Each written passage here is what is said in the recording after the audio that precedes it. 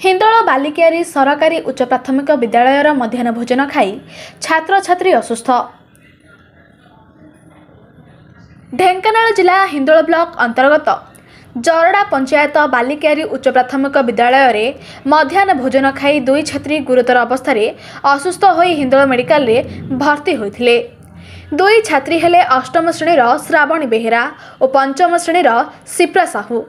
ଦୁଇ ଜଣଙ୍କୁ ଅସୁସ୍ଥ ଅବସ୍ଥାରେ ପ୍ରଧାନ ଶିକ୍ଷକ ଜୟନ୍ତ କୁମାର ସର ଓ ସହକାରୀ ଶିକ୍ଷୟିତ୍ରୀଙ୍କ ସହ ପରିବାର କର୍ତ୍ତୃପକ୍ଷ ରାସୋଳ ମେଡିକାଲକୁ ଗୁରୁତର ଅବସ୍ଥାରେ ନେଇଥିବା ସମୟରେ ରାସୋଳ ମେଡିକାଲ ଦିନ ଦ୍ୱିପ୍ରହରେ ବନ୍ଦ ଥିବା ଘଟଣାକୁ ନିନ୍ଦା କରିଛନ୍ତି ଶିକ୍ଷକ ଶିକ୍ଷୟିତ୍ରୀ। ସେଠାରୁ ଗୁରୁତର ଅବସ୍ଥାରେ ଦୁଇ ଛାତ୍ରୀଙ୍କୁ ହିନ୍ଦୋଳ ମେଡିକାଲରେ ଭର୍ତ୍ତି କରାଯାଇଥିଲା।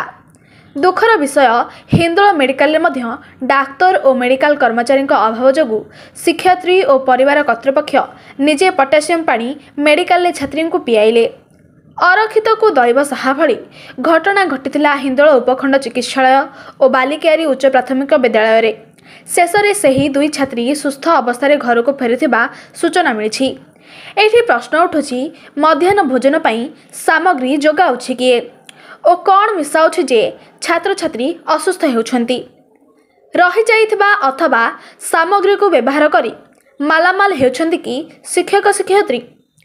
ଆଗାମୀ ଦିନରେ ଖାଦ୍ୟ ପରଖିବା ସହ ଉଚ୍ଚମାନର ଖାଦ୍ୟ ଯୋଗାଇ ଦେବା ପାଇଁ ସରକାରଙ୍କୁ ଅଞ୍ଚଳବାସୀ ଅନୁରୋଧ କରୁଛନ୍ତି। ସରକାର ଲୋକଙ୍କ ପାଇଁ ବିଭିନ୍ନ ଯୋଜନା ଉପରେ ଯୋଜନା କରି ବାହା ବାହା ନେଉଥିବା ବେଳେ ଏଠି ଛାତ୍ରଛାତ୍ରୀଙ୍କ ଉପରେ କାହାର ନଜର ପଡ଼ୁନାହିଁ। ଦେଖିବାକୁ ବାକି ରହିଲା ସରକାର ଓ ପ୍ରଶାସନ ହିନ୍ଦୋଳ ମେଡିକାଲ ଓ ବାଲିକାରୀ ଉଚ୍ଚ ପ୍ରାଥମିକ ବିଦ୍ୟାଳୟ ପ୍ରତି କି କାର୍ଯ୍ୟାନୁଷ୍ଠାନ ଗ୍ରହଣ କରୁଛନ୍ତି? ଢେଙ୍କାନାଳରୁ ସମର୍ଥ ନ୍ୟୁଜ୍ ରିପୋର୍ଟ।